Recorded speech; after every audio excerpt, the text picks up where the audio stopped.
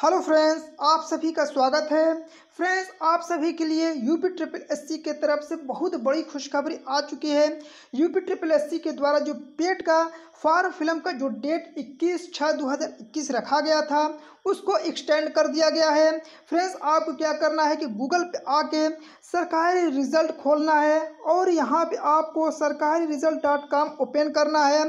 सरकारी result dot open करने के बाद फ्रेंड्स आपको क्या करना है कि यहाँ पे जो UP triple S C PET online form 2021 जो दिया है इसको ओपन करना है।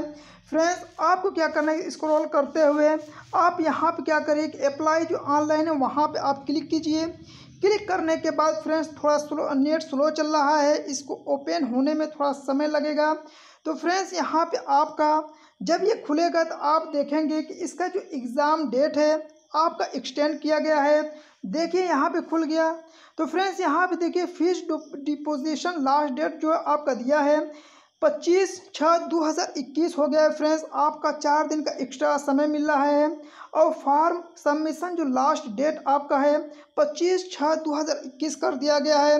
लेकिन फ्रेंड्स, यहाँ पे एक दुख भरी खबर है कि जो नए विद्यार्थी हैं, वो अपना रजिस्ट्रेशन नहीं कर सकते हैं। न्यू रजिस्ट्रेशन इसमें नहीं हो सकता है फ्रेंड्स, क्योंकि रजिस्ट्रेशन लास्ट डेट जो रखा गया है, वो इक्कीस छः दो हज़ार इक्कीस ही है।